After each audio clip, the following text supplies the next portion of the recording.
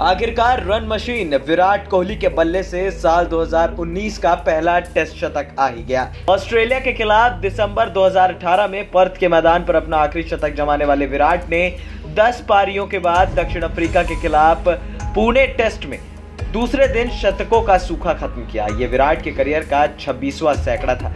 इस सेंचुरी के साथ ही उन्होंने हमेशा की तरह एक के बाद एक कई रिकॉर्ड्स भी तोड़ डाले।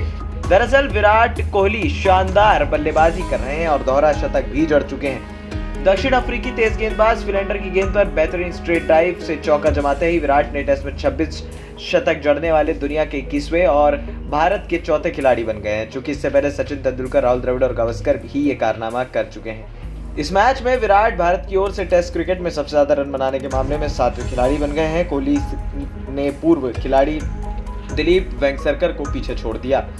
वहीं कोहली ने कप्तान के तौर पर टेस्ट क्रिकेट में सबसे ज़्यादा शतक लगाने के मामले में रिकी पॉन्टिंग के रिकॉर्ड्स की बराबरी कर ली।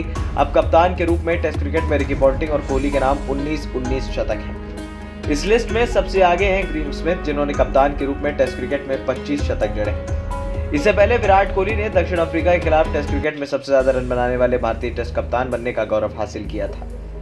कोहली ने सचिन तेंदुलकर और धोनी को पीछे छोड़ते हुए रिकॉर्ड अपने नाम किया। कोहली दक्षिण अफ्रीका के खिलाफ बतौर कप्तान 600 से ज़्यादा रन बना चुके हैं। कोहली ने इस मैच में शानदार तरीके से अर्धशतक शतक और फिर दोहरा शतक भी जड़ा। वो भारत के 11 अलग अलग मैदानों पर शतक बनाने वाले खिलाड़ी बन गए। इससे पहले रिकॉर्ड सचिन तेंदुलकर के नाम था, जिन्होंने 10 मैदान पर शतक जड़ा था। इस लिस्ट में तीसरे नंबर पर सहवाग और चौथे पर द्रविड़ हैं, जिन्होंने भारत के नौ ग्राउंड्स पर टेस्ट क्रिकेट में शतक जड़ा है। विराट ने टेस्ट करियर का छब्बीसवा शतक लगाने के साथ ही पाकिस्तान के पूर्व कप्तान इंजमामुल हक को पीछे छोड़ दिया। इंजमामुल हक ने 120 टेस्ट मैचों में 25 शतक लगाए थे। दरअसल अर्धशतक को शतक में बदलने और विराट का कन्वर्जन रेट चौवन दशमलव दो का, जो कम से कम पंद्रह शतक जमाने वाले बल्लेबाजों में दूसरा सबसे बेहतर रन रेट है। डॉन ब्रेडमैन का औसत कन्वर्जन रेट उनहत्तर था। तीसरे नंबर पर वेस्टइंडीज के क्लाइव वॉलकॉट का नंबर आता है। टॉप टेन की इस लिस्ट में? विराट के अलावा मोहम्मद अजरुद्दीन ही शामिल है। उनका औसत करीब इक्यावन दशमलव दो का है। ए न्यूज़ रूम की रिपोर्ट।